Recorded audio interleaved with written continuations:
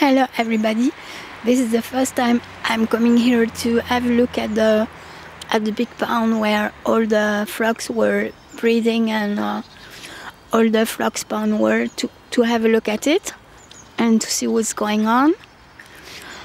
Um, everything is frozen as expected. Uh, unfortunately, when I arrived, there was a grey heron that was there, but he flew away.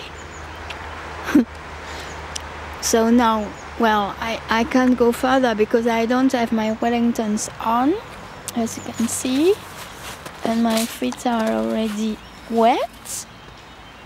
But all I can see is that it's uh, ah here is the the heron merde. I can't find it. Yes gone. I could uh, here is another one Hey! Oh, I see them, but I can't find them with my camera. So, well, um, here uh, there is not much to see apart from the, the frozen stuff and the, the, the, the, the I've forgotten the name. Les Joncs, because it's called uh, La Mare aux Joncs. Here, this place. And uh, I can't see anything.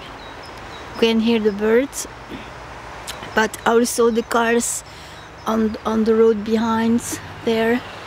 There is a road and there is much traffic at this time of the day.